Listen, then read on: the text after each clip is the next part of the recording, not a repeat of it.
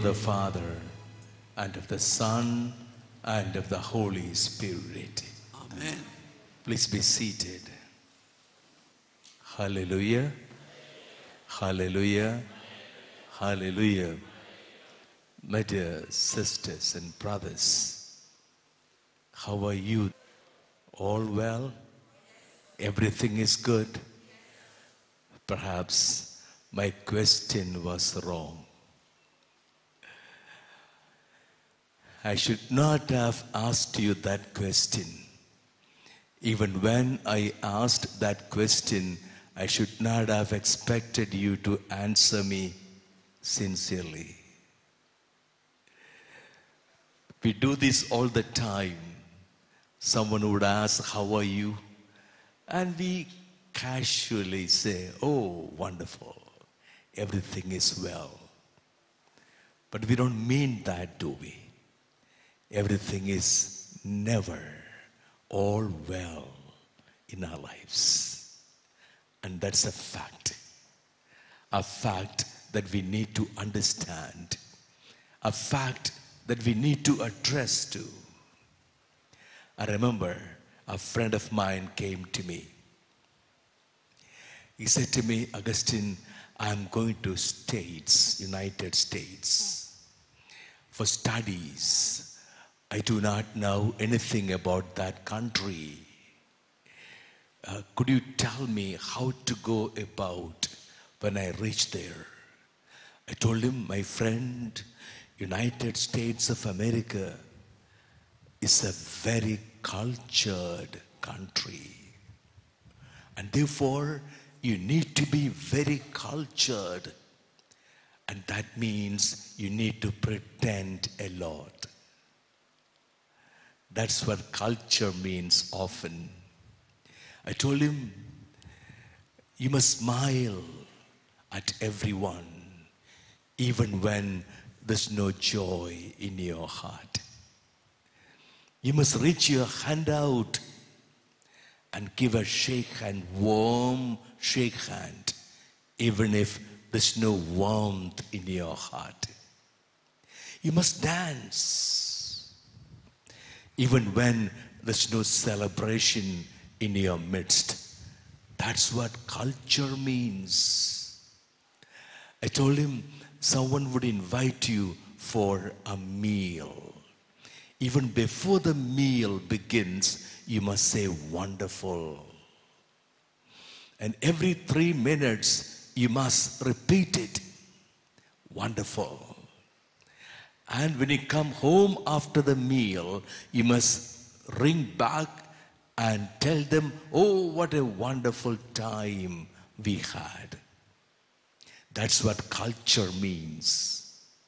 Well, my friend went to the United States, and after a few months, a wonderful lady invited him for a meal. And what was served was steak. Steak raw done, not cooked very much, a lot of meat. He did not like it at all. So he was cutting it into pieces and putting it in the mouth and gulping it down. After some time, the lady asked him, Father, how is the food? And spontaneously he said, Horrible. That's when he remembered my instructions. He said, ah, I, I mean wonderful. We tell the truth only by mistake. And that's a culture. We tell the truth only by mistake. We're used to a lot of pretensions. And this has become a way of living. You know what happens in the process? The casuality of this way of living is our hearts. Our hearts get dried up. Even when there's a lot of sadness in my heart, I'm not able to express my sadness. You know why?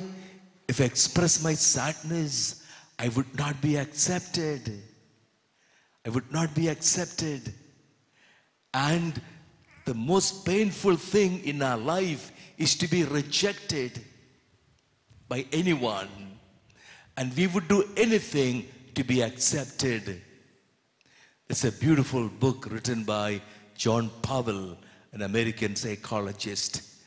The name of the book is Why I'm Afraid to Tell You What I Am.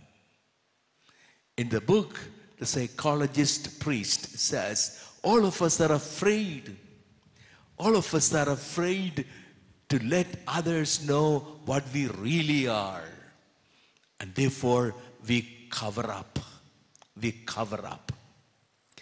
And it is this culture of pretensions that is being encouraged everywhere.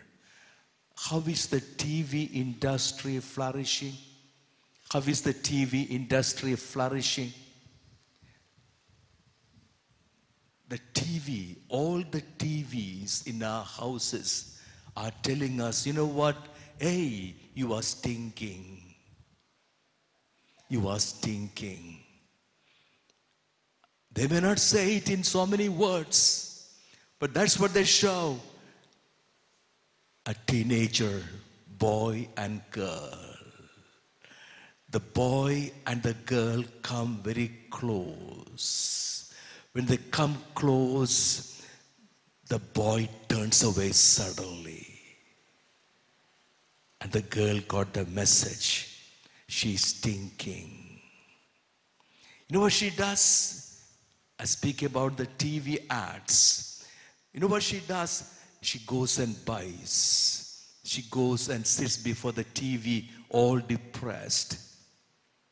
That's when she sees a toothpaste, a new toothpaste, and that toothpaste she buys in bulk and goes on brushing her teeth.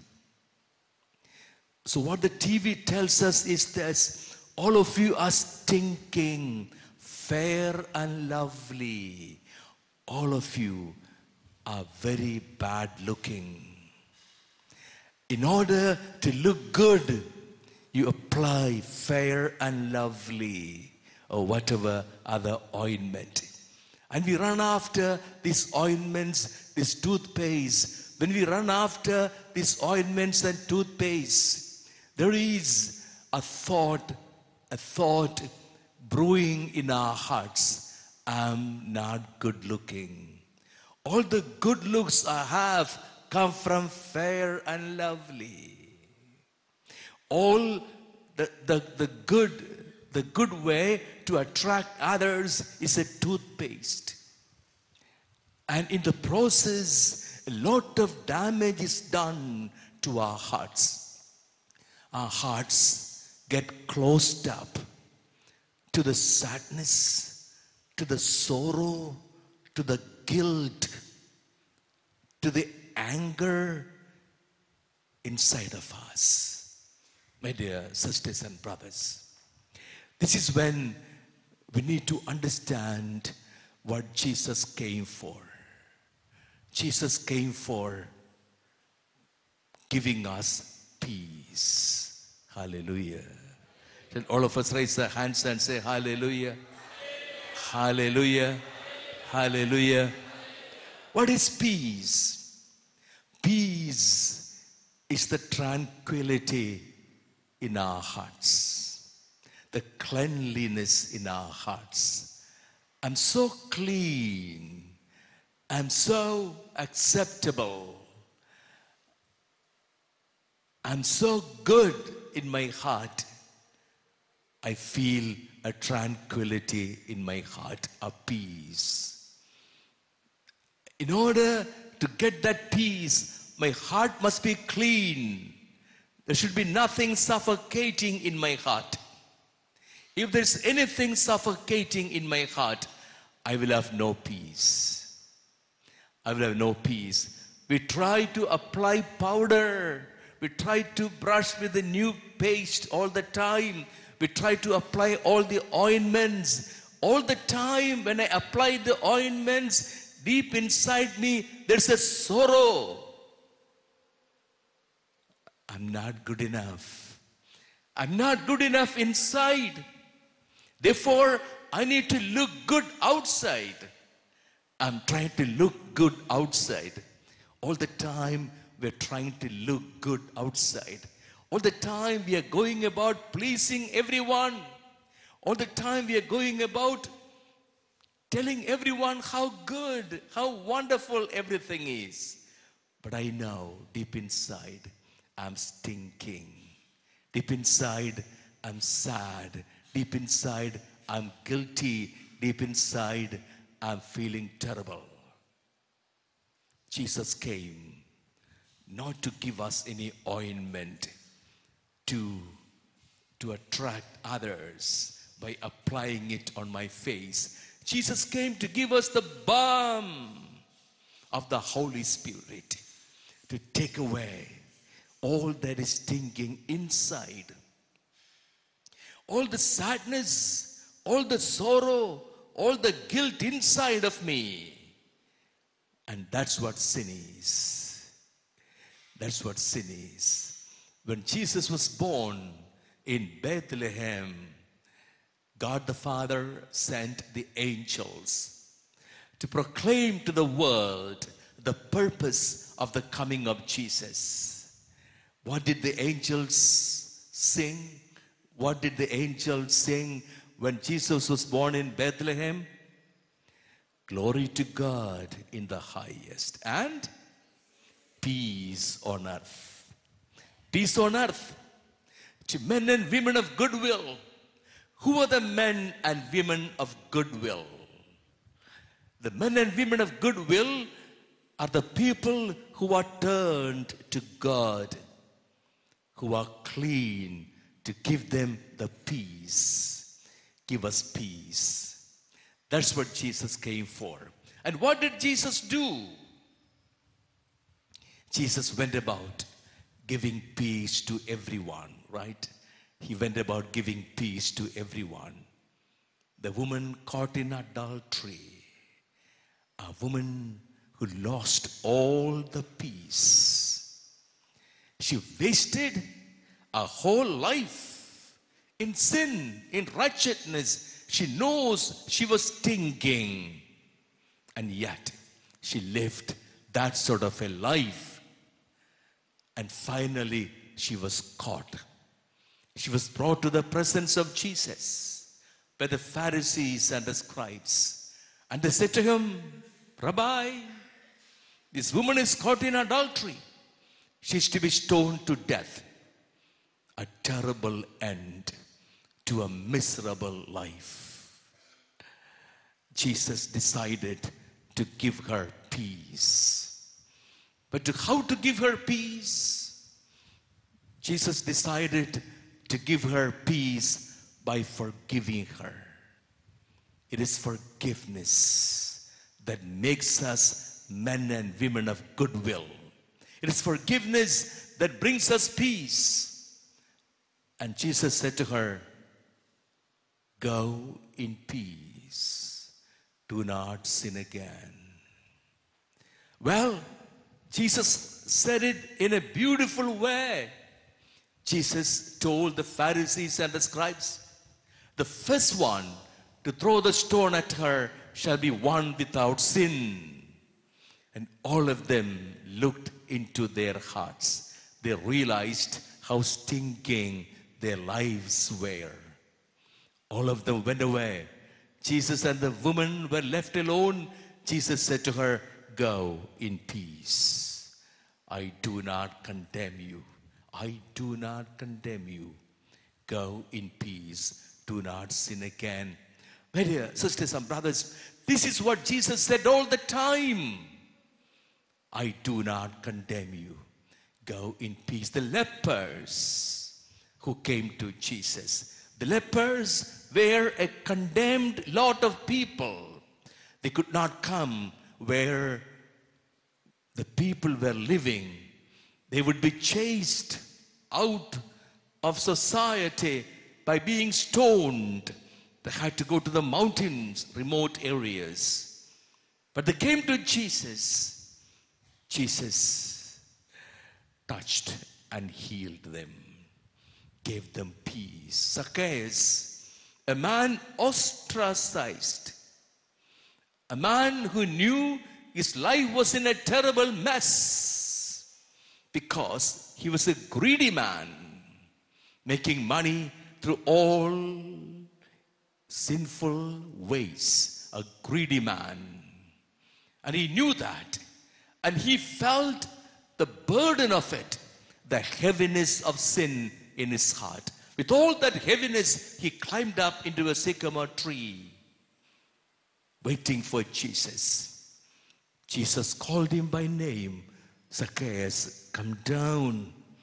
And Jesus said to him, Today, peace, salvation is come to this family.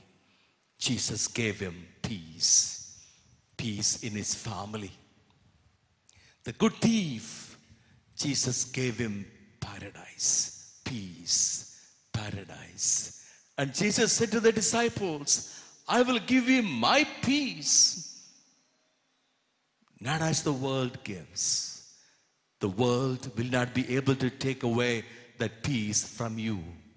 So, the peace that Jesus gives is what the world will not be able to take away from us.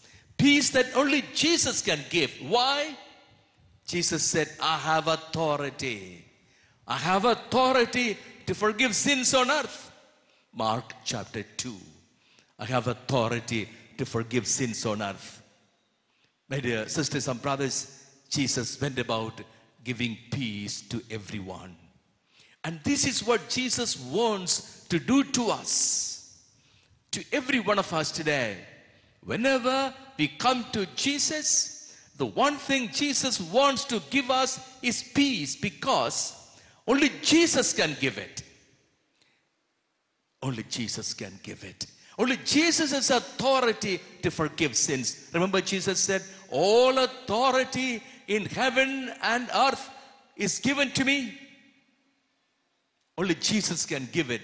When Jesus gives us the peace by forgiving our sins, nothing in the world, no one in the world will be able to take that peace away. That's a peace that we are waiting for from Jesus. And Jesus gives us the peace with a clear sign. With a clear sign. Let me read for you, my dear sisters and brothers. Has anyone brought the Bible by mistake? John chapter 20, verses 19 onwards. On the evening of that first day of the week, when the doors were locked, where the disciples were, for fear of the Jews, Jesus came and stood in their midst and said to them, Peace be with you. Peace be with you. My dear sisters and brothers, there's something beautiful about this greeting. Whenever Jesus appeared to the disciples after the resurrection, Jesus always said, Peace be with you. He continued saying it again and again. There's a reason for this. He went about giving peace to individuals. Zacchaeus, to the woman caught in adultery, to the good thief. But on the cross, Jesus took upon himself all the sin of the humankind, all the heaviness in the heart of the humankind, all the destruction in the heart of the humankind. And Jesus forgave. Jesus forgave all the sin. Jesus took authority finally on the cross. Finally, on the cross, Jesus took authority over everything sinful, over all the powers of sin. He took authority and he dispelled the darkness of sin in the splendor of the glory of the resurrection. And then Jesus came. Jesus came and gave peace. You would note that very clearly. In all the times Jesus appeared to anyone, disciples, um, Mary of Magdala, Jesus always gave them peace. That's what Jesus came for. As the angels proclaimed in Bethlehem, and Jesus achieved it on the cross because he defeated the powers of evil holding us captive. He defeated the powers of evil and he went about giving peace to everyone. He did that to the apostles as well. When he had said this, he showed them his hands and his side. The disciples rejoiced when they saw the Lord. Rejoiced. Great joy came upon them. Joy, peace, and joy always go together. Where there is peace, there is joy. Where there is joy, there is peace. You know, um, joy is a very rare commodity today.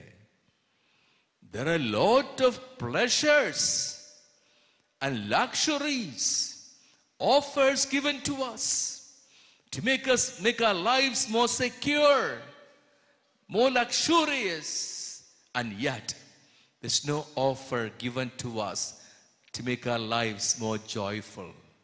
No. No. There is joy only where there is peace.